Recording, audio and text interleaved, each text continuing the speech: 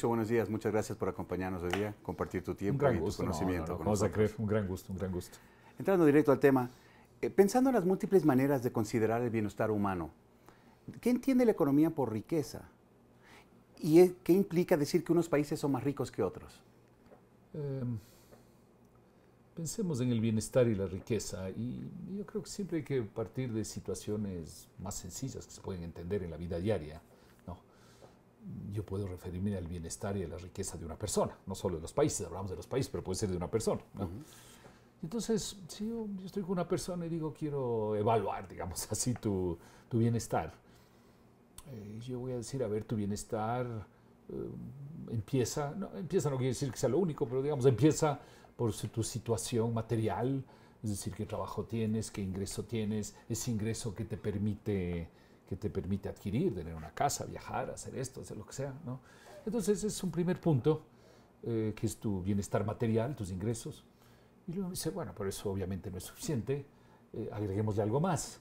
Y uno dice, a ver, eh, tener ciertas satisfacciones en la vida depende de la educación que uno tiene, te permite ampliar tu, tu horizonte mental y de opciones, ¿no es cierto?, y de cosas en la vida. Eh, entonces eso también, y luego uno dice, eh, agreguémosle la, la salud, es un tema bien importante, la salud te permite o no te permite hacer cosas, ¿no? entonces pongamos que la, la salud es un tema importante, y luego uno dice, bueno, y las relaciones humanas son bien importantes, y eso probablemente empieza por la familia, entonces veamos cómo es tu familia, ¿no? Y cómo te llevas con tus familiares. Y luego uno dice, bueno, y luego hay temas eh, más complicados, tu bienestar psicológico, tu equilibrio psicológico, es parte o no es del bienestar, sí, puedes ser millonario y tener un pésimo, un pésimo equilibrio psicológico, entonces te vas moviendo eh, hacia acá, eh, digamos, más cosas por este lado de acá, ¿no es cierto? Y luego tú dices, ok, hemos hecho una lista de las cosas que podría ser tu bienestar, ahora decidamos para, para evaluar, digamos, y ponerle una calificación a tu bienestar, entre comillas, empecemos por las cosas que se pueden medir más fácilmente, ¿no? ¿Y qué va, por dónde vamos a empezar? Por tu ingreso, que es medible, tus gastos es medible, tu nivel de educación es medible, tus gustos alrededor de la educación son medibles, te gusta el cine, te gusta el teatro, te gusta leer, te gusta viajar, que te gusta o no te gusta nada, bueno, puedes medirlo. Eh, La salud, razonablemente también lo puedes medir. Luego ya te vas acercando a las relaciones personales, ¿qué tanto puedes medir eso, no? Entonces ahí dices, ve, algunas cosas que puedo medir es, no sé, eh, cuántos familiares tienes, cuántos amigos tienes, cuántas veces les ves, no, bueno, alguna medición. Y luego te vas moviendo al tema psicológico, y ya se vuelve más difícil, ¿no? ¿Ok? Entonces hay esa- es- es- es- esos grados diversos que puedes medir de una persona. Ahora, tú vienes y dices, quiero medir lo mismo a nivel de, una de un país, de una sociedad, y tienes lo mismo. Entonces tú dices, voy a empezar midiendo los ingresos, los gastos, etcétera, no por una obsesión material, sino porque es lo primero que es razonable, que es importante y además lo puedo, lo puedo medir. ¿no? Y entonces, por ejemplo, la medida del PIB. Y luego tú dices, hay que agregar otras cosas. Sí, educo la, eh, agrego la, la educación, la salud, lo mismo que veníamos hablando. Y entonces hay un índice de desarrollo humano en el mundo. ¿no?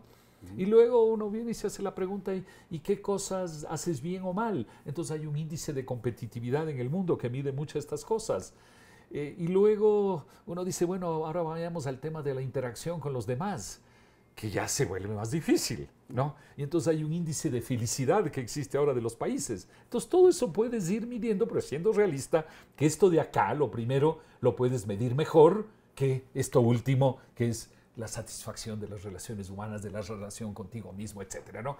Y entonces cuando uno compara los países, uno dice, yo puedo comparar los países en todos esos ámbitos, pero ahora seamos realistas, empecemos midiendo los países por lo más medible que es el ingreso y es ahí donde tú dices, hay países más ricos que otros, medido el aspecto material. Ahora, nuevamente, puedes decir que ese país que es rico, que es más rico que el otro, que lo es objetivamente, eh, es más infeliz que el otro. Bueno, entonces vayamos agregando todas las demás categorías que cada vez se vuelven más subjetivas y más subjetivas. Pero quieres algo objetivo, es medir el bienestar material. Y te insisto, no es porque estamos obsesionados con el, el bienestar material, sino que lo primero que podemos razonablemente medir y comparar es eso.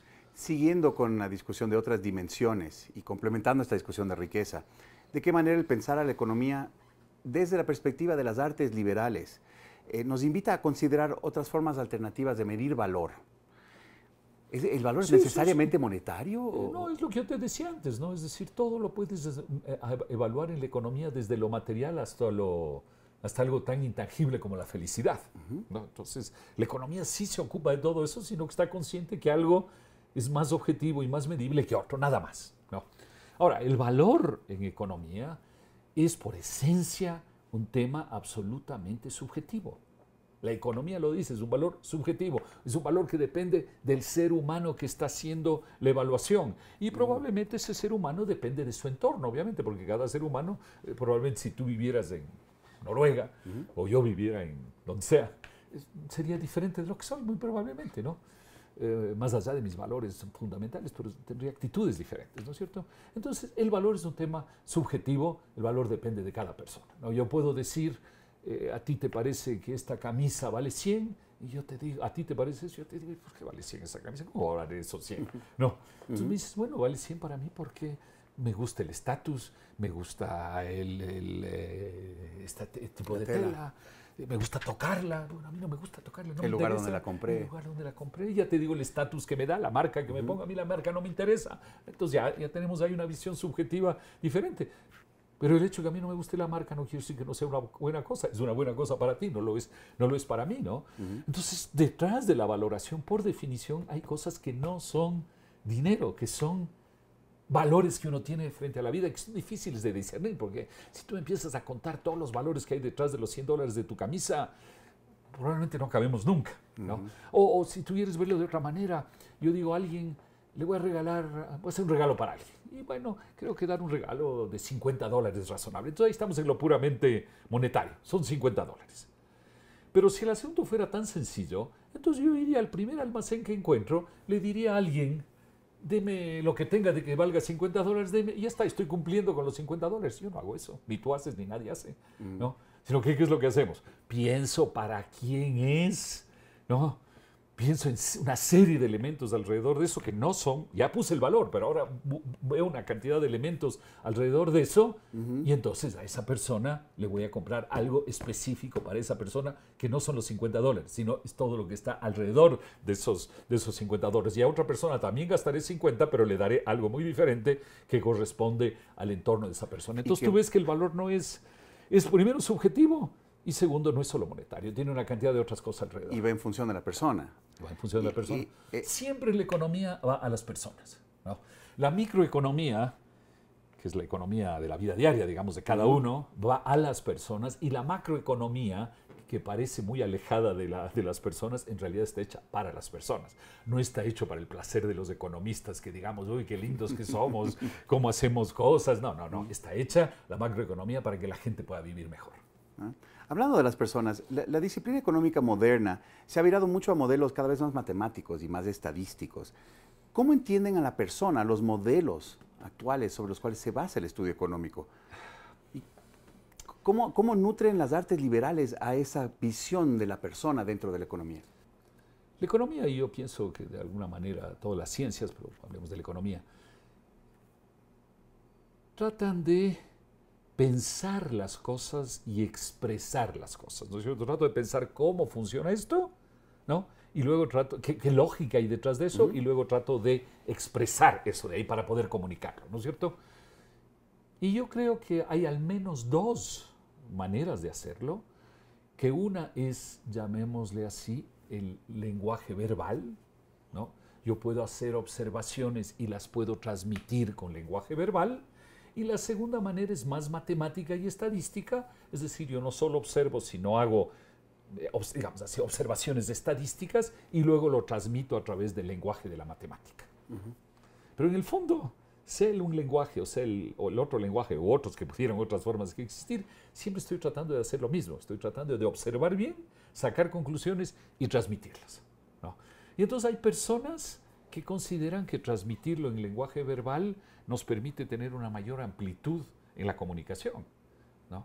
Otros dicen, sí es cierto que es más amplio, pero es más, más limitado en, su, precisión, y entonces por eso utilizamos las matemáticas, que son menos amplias, pero son más precisas. Entonces yo creo que son... Eh, digamos, no, no, es el uno o el otro. y a veces se entiende eso, desgraciadamente, yo creo que son complementarios, son dos formas de expresar. En este momento estamos haciéndolo. Pero no lo estamos haciendo a través de matemáticas. Podríamos traer un pizarrón y poner unas fórmulas y, a dónde avanzar. en este caso no avanzaríamos mucho. Exacto. Entonces creo que son dos formas de hacerlo y ambas son válidas. Y yo creo que excluir la una o la otra es lo que no es válido. ¿no? Es más bien utilizar las dos. Y en ambos casos, ¿qué es lo que trata de hacer la economía? ¿Qué es lo que decíamos antes? Trata de mirar a los seres humanos sea como individuos o sea como, como colectividad, trata de mirar cómo actúan, qué hacen, cómo hacen. Es eso, en cualquiera de los casos es eso. Entonces yo creo que la, la matemática no impide tratar de hacerlo. ¿no? Ahora, lo que sí tratamos de hacer constantemente en la economía es, sea en el un lenguaje o en el otro, es obviamente de entender mejor cómo nos comportamos, comportamos las personas. ¿no? Y por eso en los últimos, no sé, 20, 30 años, se ha desarrollado mucho en la economía lo que llaman la economía del comportamiento, que hay psicólogos que empezaron haciendo eso, diciendo, a ver, a ver, a ver, ustedes dicen que, eh, como Kahneman, sí, eh, eh, la, gente, ellos dijeron, a ver, a ver, los economistas dicen que las personas actúan de tal manera. A ver, veamos si las personas realmente actúan así o no, veamos en la vida diaria. ¿no? Y entonces la teoría del comportamiento ha ido en esa dirección y es un campo muy interesante en el cual, ojo, yo me opongo al término teoría del comportamiento. Mm. Porque parecería que los economistas antes no nos ocupábamos del comportamiento de la gente, no, siempre nos hemos ocupado del comportamiento. Lo que pasa es que es lógico, tratamos de avanzar utilizando otros instrumentos para analizar cómo la gente se comporta, pero siempre la economía ha sido analizar el comportamiento de las personas. Tomando en cuenta que los humanos operan en sociedad y que hay comportamientos tanto individuales como grupales, ¿cómo se caracteriza el, o, qué características se asocian con lo que los economistas llaman acción colectiva? Y, cómo la acción colectiva afecta a la toma de decisiones públicas? Yo creo que es un tema fundamental no solo de la economía, sino de la vida y de otras ciencias también. Eh, tratemos de, de imaginarnos una situación donde yo creo que lo individual y lo colectivo se juntan mucho y es una obsesión que yo tengo, que es el tema del tráfico. Okay. ¿no? El tema del tráfico arranca siempre por una acción individual. Es decir, yo quiero irme a algún lado. ¿No es cierto? No eres tú, soy yo. ¿Cómo me quiero ir? Bueno, gracias a Dios tengo un auto, entonces me voy en auto. Si no tuviera auto, cogería un bus o lo que sea, no importa, digamos que cojo el auto y me voy. Es una decisión absolutamente individual y es una acción individual que depende de quién, depende de mí, no depende de ti. Tú cogerás del medio que quieras y tiras donde quieras. Cada uno toma su decisión. Pero resulta que todas esas decisiones individuales se juntan en el tráfico, ¿no es cierto? Y entonces ahí en el tráfico tiene que haber una acción colectiva voluntaria, que muchas veces no lo hay, y eso sí distingue a los países unos de otros. Es que yo razonablemente debería decir, cierto es que yo quiero llegar donde yo quiero, y quisiera pasarme por encima de todos, ¿no es cierto? Pero resulta que no hay cómo, ¿no? Porque él también va a querer pasarse encima mío. Entonces, ¿qué tenemos que hacer? Una acción colectiva voluntaria. Es decir, yo tengo que mirar alrededor mío y decir, a ver, el señor está viniendo por acá, tengo que dejarle pasar. Aquí hay una boca calle. ¿Me voy a parar en la boca calle para impedir a los demás que pasen? No. Entonces, hay una acción colectiva voluntaria que es así. Hay países donde funciona mejor que en otros. Si tú vas a Suiza, el auto para para que el peatón pase. ¿Es voluntario o no? Sí es voluntario, porque podría también no parar. Y en el Ecuador efectivamente no paramos donde está el peatón. Entonces hay una acción colectiva voluntaria. Y luego tiene que haber una acción colectiva, llamémosle así, impuesta por alguien, que es del Estado, digamos, que es quien te pone los semáforos. Eh, en ciertos lugares dice aquí no basta con que de buenas gentes lleguen los autos y, se dé el paso y todo eso, aquí tenemos que ponerles un semáforo, o tenemos que ponerles un policía, o tenemos que ponerles una regla, una, una sanción, o lo que diablos sea. Entonces es el típico caso donde tú combinas acción individual, acción colectiva voluntaria y acción colectiva impuesta por alguien, ¿no? Eh, y, es, y, es, así como yo creo que funcionan casi todas las cosas con estos tres aspectos. En las sociedades que funcionan mejor, yo creo que la acción individual y la acción voluntaria funcionan mejor. Eh, y, donde no hay eso, como es el caso nuestro, hay que ponerle acción colectiva obligatoria, pero que tampoco funciona muy bien de nosotros. O sea, el policía no funciona muy bien, el semáforo no funciona muy bien, pero digamos, esas son las tres cosas que hay siempre. ¿no? El riesgo que hay creo yo en general, en relación a tu eh, pregunta de las políticas públicas, es que la tercera acción, la acción colectiva eh, eh, obligatoria, digamos, impuesta, trata de meterse en los espacios que no le competen. Trata de ir más allá de lo que debería ser y entonces se mete en la acción eh, colectiva voluntaria y en la acción individual, en muchas cosas. Quizás el tráfico, no sé, creo, creo que no, pero en otras cosas te dice, vea, yo que tengo esa potestad, entonces me meto en tu acción individual. No, yo decido que los domingos tú no puedes tomar. ¿Por qué no puedo tomar? no, yo decido. ¿Por qué? Porque tengo esa potestad y entonces yo extralimito esa, esa potestad. ¿Qué, ¿Esa potestad en qué debería quedarse? Si tú tomas, te sanciono. O sea, si tú tomas y eres un peligro para los demás, yo te sanciono. Está muy bien. Pero no puedo simplemente prohibir porque sí. Entonces yo creo que hay esas tres fases de la acción individual y colectiva que son fundamentales. En ese balance, en encontrar este, el punto medio entre comportamiento individual, comportamiento colectivo, ¿qué rol tienen las instituciones económicas en la regulación del quehacer social, de la conducta individual? Sí, como te decía, es eso, ¿no? Es decir, yo creo que hay que definir en cada caso qué cosas es sensato es sensato que intervenga la acción, la institución más bien colectiva, digamos, en qué caso es, y en qué casos tienes que dejarle a la institución privada, voluntaria, de tomar las decisiones, ¿no? Probablemente si estás, en este, volviendo al tema del tráfico, probablemente si estás en una ciudad pequeña, donde la interacción es relativamente fácil, capaz que lo lógico es que dejes a la acción individual y a la acción eh, colectiva voluntaria no hace falta que te metas. Probablemente en las grandes ciudades sí tienes que, sí tienes que meterte. Entonces yo creo que depende de los casos, pero lo importante es que la institución esté colectiva, obligatoria, esté clara de cuál es su función y cuáles son funciones de los otros. Y hablando de instituciones, ¿por qué la dolarización fue un evento histórico tan importante para el Ecuador? Porque en el Ecuador teníamos un gravísimo problema, que es el problema monetario, eh, el dinero es un medio de intercambio, nada más que eso. Es decir, si no existe algo que intercambiar, el dinero en sí mismo no vale nada. Si tú y yo no tenemos nada que intercambiar, el dinero, eh, eh, ¿para qué tenemos dinero si no, podemos intercambiar? ¿No es cierto? Entonces, las cosas que intercambiamos vienen antes que el dinero. El dinero es para eso. Pero cuando tú manejas mal el dinero, dañas los intercambios. Cuando tú piensas que vas a reemplazar los intercambios con dinero, entonces empiezas a fallar. Porque entonces en lugar de decir a la gente, verá, lo importante es que usted tenga algo para intercambiar y luego utilice el dinero, tú le dices, vea, basta con que haya dinero para que el dinero reemplace el intercambio. Y la reacción sensata del economista es decir, vea, pero ¿cómo? ¿Cómo quiere usted que el dinero reemplace el intercambio? El intercambio tiene que ser de cosas, de bienes y servicios que intercambiar. Algo tenemos que intercambiar. si no tenemos nada que intercambiar, usted no me puede decir que el dinero en sí mismo reemplaza eso. Entonces, el dinero tiene que cumplir ese rol de, facilitar el intercambio. Cuando le conviertes mentalmente en la solución a que no haya intercambios, ¿no? Entonces tú dices, no hay actividad económica en este país, entonces le vamos a forzar metiéndole dinero. No, lo importante es que haya el intercambio y que el dinero sirva para eso. Entonces, en todas partes del mundo, desde hace miles de años, ¿no? Los, los, gobernantes han decidido, caramba, cuando hay problemas económicos, yo le meto más dinero para que se mueva la economía. No, la economía mm. se mueve porque tenemos algo que intercambiar. Entonces, lo que el gobernante tiene que estimular es que tú y yo tengamos, eh, queramos invertir, producir y en consecuencia intercambiar. Entonces, el dinero nos sirve para eso. Pero al revés no funciona. Si tú metes el dinero para forzarnos a intercambiar, no funciona. ¿Sí? Entonces, Interesante. Y entonces esa institución en el Ecuador no funcionaba. ¿Y cómo sé que no funcionaba? Porque la inflación es el reflejo de que no está funcionando ese intercambio. ¿no? De que le estás metiendo dinero pero como no hay nada que intercambiar, suben los precios en lugar de que suban los intercambios. ¿no? Y entonces en el Ecuador la inflación era del 12% en la década de los 70, que digamos era manejable, y luego subió en la siguiente década al 30, al 40, al 50, al 60.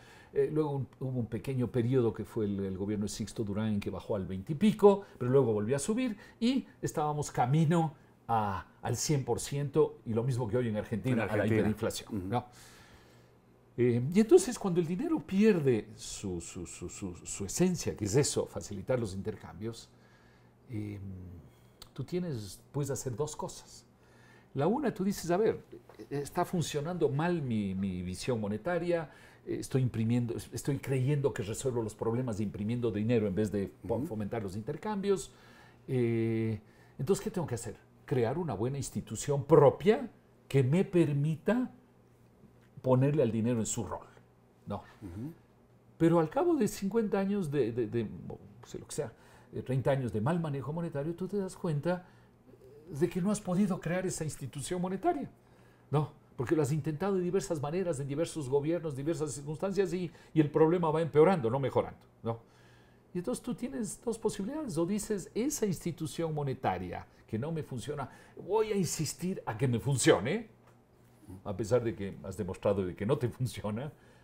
O tú dices, voy a tomar la institución de otro, la institución monetaria de otro. El Ecuador al dolarizarse decidió, vea, ya dejemos de intentar porque no lo logramos, cada vez estamos peor, hemos pasado el 10, al 30, al 50, al 70, ahora estamos camino al 100% de inflación, de devaluación, de, de, pérdida de confianza de la gente en el dinero, porque la gente tiene que confiar en el dinero para utilizarlo, porque si no confías no lo utilizas, y entonces decidimos que para evitar más crisis y más problemas, lo sensato era tomar la institución monetaria la mejor o la menos mala del mundo es el dólar. Y yo creo que es la menos mala, no es la mejor porque en Estados Unidos también hay esa mala mentalidad, pero en menor proporción. Entonces tomamos una mejor, una menos mala institución monetaria, que es el dólar. Entonces dijimos, vea, olvidémonos de nosotros tratar de manejar eso, eh, manejemos otra institucionalidad monetaria. Y entonces, ¿qué logramos con eso? Logramos resolver el problema del dinero. Le volvimos a poner al dinero en su plano fundamental, que es intercambio. Pues y entonces centrarnos ya no en el tema monetario, sino centrarnos en el tema de cómo fomentamos de que haya más inversión, más toma de riesgo, por ende, más intercambios en la sociedad ecuatoriana, que es lo importante. Ahora, uno podría decir, pero no lo hemos logrado totalmente, así es, pues. Así es. Pero el hecho que tú resuelvas un problema en tu vida no quiere decir que quedan resueltos los demás problemas. Automáticamente, claro. Pero has resuelto uno. Entonces has resuelto en el Ecuador un problema monetario muy importante, muy importante. Ahora tenemos que atacar el otro tema que es cómo fomentar más y mejores intercambios. Intercambio. Ese es otro tema que no tiene nada que ver con la dolarización. Hablando de producción, ya, ya que abriste el tema de producción, desde la política se ve el crecimiento económico a través de la producción como algo deseable, algo valioso en sí mismo. Ahora, el crecimiento económico sin límites no es posible en un mundo con recursos limitados. ¿Qué nos puede decir la economía respecto a esta contradicción o aparente contradicción? Y de haber los cuales deberían ser los límites al crecimiento económico. Cuando a mí me dicen el crecimiento ilimitado, yo no entiendo qué quiere decir. Porque si yo te digo el mundo, por decir algo, crece al 3 o 4% anual, al ritmo del 3 o 4% anual, no vas a llegar al infinito. Vas a ir creciendo, pero no vas a llegar al infinito. Entonces, crecimiento ilimitado no tiene sentido. Quiere decir que todos los años seguiremos creciendo 3 o 4%, pero el infinito está bien lejos. No es que vamos a llegar. Primera cosa, no me gusta la expresión del crecimiento ilimitado. La segunda cosa es que probablemente hace, no sé, 500 años, si tú le decías a la gente, vamos a seguir creciendo, y que te digo, no ilimitado, pero vamos a seguir creciendo, la gente te iba a decir, eso sí me parece imposible, porque la tierra se me acaba, no tengo dónde más cultivar, y porque estoy, eh, estoy arando la tierra con mi buey y mi pobre buey tiene una cierta capacidad, pero más allá de eso no tiene. Entonces la gente te hubiera dicho, no podemos seguir creciendo. No. Y sin embargo hemos crecido bastante desde entonces. ¿Y hemos crecido por qué? Porque hemos ido desarrollando medios tecnológicos que ahora le reemplazan al buey, le reemplazan a la tierra, reemplazan una serie de cosas y que seguimos haciendo todo. Ahora ya no es tan importante la agricultura, es importante el microondas, por decir cualquier cosa. Mm. Microondas que nos facilita la vida, pero que no está hecho ni con el buey, ni con la tierra, ni con nada, sino con otras cosas. ¿no? Entonces, probablemente el mismo problema que nos planteamos hoy de que no podemos seguir creciendo es el mismo problema que se planteaban hace 500 años, con más razón, porque ahí era más era más básico todo, entonces la productividad era más baja, la tecnología era más baja, y tenemos más bien más opciones de hacer cosas. Yo creo que no me preocupa demasiado. La otra cosa que hemos hecho es que con la tecnología nos hemos vuelto más eficientes y en realidad utilizamos cada vez menos medio ambiente, proporcionalmente. O sea, cada dólar de PIB en el mundo requiere menos medio ambiente que hace 20 años, hace 50 años. Y yo tengo confianza en la humanidad de que de aquí a 50 años usaremos todavía menos ambiente para producir cada, cada PIB. Y luego la última cosa que me parece muy importante estar conscientes es que en realidad eh, la medida que tenemos de la actividad económica, cuando decimos la economía crece 2, 3, 4%, en realidad la, llamémosle así, la calidad de vida o la satisfacción, no sé qué, palabra ponerle, pero bueno, digamos, la, la, satisfacción de la gente crece mucho más que ese 3 o 4%. Es decir, un celular, un celular, ¿cuánto hace crecer la calidad de vida de la gente? Le permite a la gente comunicarse, oír música, eh, utilizar como GPS, tomar fotos, informarse, educarse, etc. Un simple celular hace una cantidad de cosas. ¿En cuánto ha crecido la, la, satisfacción de vida de la gente con celular? Yo creo que bastante. Creo yo que sí, hay lados malos, las redes sociales y todo lo que quieras, pero ha crecido mucho. Sin embargo, el celular, en términos económicos, de crecimiento económico, probablemente le ha aportado medio punto de crecimiento a la economía. No, por decir algo. Pero lo que ha aportado en satisfacción es mucho mayor. Es decir, yo creo que las cosas que la gente va teniendo le aportan más satisfacción digamos así, con menos necesidad de crecimiento económico y con menos uso de recursos, de recursos naturales. Entonces yo no digo que no sea un problema, pero te digo, yo estoy convencido que la economía va a seguir creciendo y dando satisfacción a la gente con un menor uso de recursos naturales. Es decir, nuestros nietos, bisnietos, etcétera, yo estoy seguro que seguirán adelante, el mundo no se ha acabado y van a vivir en un mundo donde habremos avanzado en la solución de ese problema. Y surgirán nuevos, obviamente, porque los problemas de hace 500 años no son los mismos de hoy, y en 500 años serán otros, pero estaremos avanzando. Y tomando en cuenta esa, esa capacidad que tiene el ser humano de sobrellevar limitaciones ecológicas y frente a las advertencias de la comunidad científica actual de que estamos bordeando límites planetarios, ¿qué, ¿qué soluciones plantea la economía? A ver, la economía lo primero que te dice es, todo problema que tú me planteas, yo quiero ver los pros y los contras. es lo mismo que tú harías en cualquier situación de la vida, ¿no es cierto? Dices, mañana me voy de viaje, a ver, veamos pros y contras para ver si me voy o no me voy, ¿no? Entonces, lo primero que hay que hacer es evaluar costos y beneficios, es decir, pros y contras. Y, y francamente, la mayor parte de discusiones que hay, no estamos planteando los pros y contras.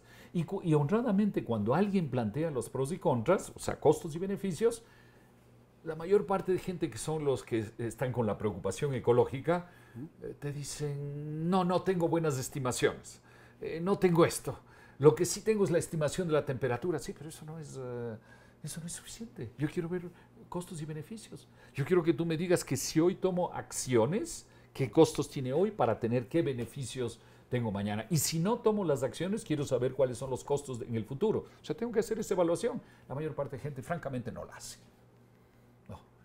Entonces yo creo que la primera cosa que dice la economía es, entonces esa conversación no me sirve porque tú estás planteando un tema dramático, pero no me estás diciendo los pros y contras.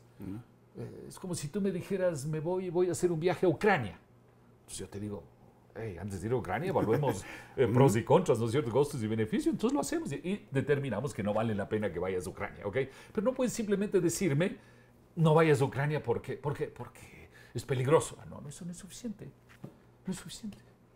Entonces, ese es el, tema. Primero, yo creo que hay que mirar eso, los costos y beneficios de cualquier decisión respecto al tema ecológico. Entonces, mientras no haya eso, uno como economista dice, entonces yo no puedo discutir el tema. Y no es que no quiera, es que no puedo si no me estás dando los elementos para la, para la discusión. Eso es la esencia de la economía. Y luego la economía te dice, muy bien, ahora hemos evaluado costos y beneficios y vemos que, que el tema es complicado, hay, hay, hay, costos que asumir para tener ciertos beneficios, está muy bien, no tengo problema, pero ahora hagámonos la siguiente pregunta. ¿Cuáles son los mejores mecanismos para que esa relación costo-beneficio sea razonable en el futuro? Y entonces la gente viene y te dice, ya que hablábamos al inicio de la, de la acción colectiva, eh, la mayor parte de soluciones que te dan es, mira, tienen que juntarse los gobiernos y los gobiernos decidir eh, los mecanismos y los límites y no sé qué, y una serie de cosas. En la economía decimos, bueno, es una visión. Hay otra visión que es, porque no nos hacemos la pregunta, cómo los, las personas, las empresas, etcétera, no los gobiernos, podemos resolver ese problema a través de mejores actitudes, a través de mejor tecnología. Entonces vamos a hacer que se desarrolle una mejor tecnología de autos y vamos a hacer también el cambio de actitudes para que cada uno de nosotros eh, le llame a los del barrio o, lo que sea a través de las redes y le diga, vea, me estoy yendo a San Francisco, vamos juntos. entonces usamos, ¿no es cierto? ¿Cómo se llama? El, eh, sí, la cosa de los el pool, entonces vamos todos juntos. O sea, lo uno es tecnología, lo otro es actitud social, llamémosle así, ¿no es cierto? O sea, lo que decíamos al principio acciones colectivas voluntarias. ¿no?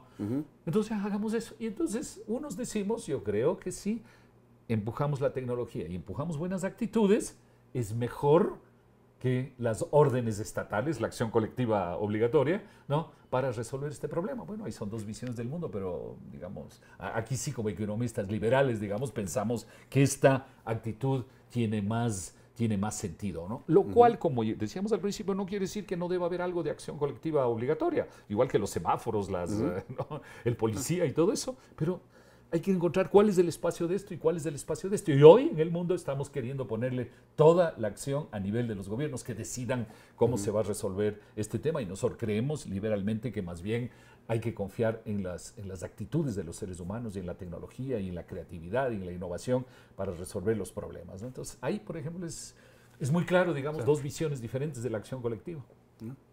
Pablo Luis, te agradezco mucho por haber compartido con nosotros. ha sido un gusto conversar contigo. Mil gracias por la invitación. Y Estoy a las órdenes. Y un abrazo a los, que, a los que oigan. Muchas gracias. A ti.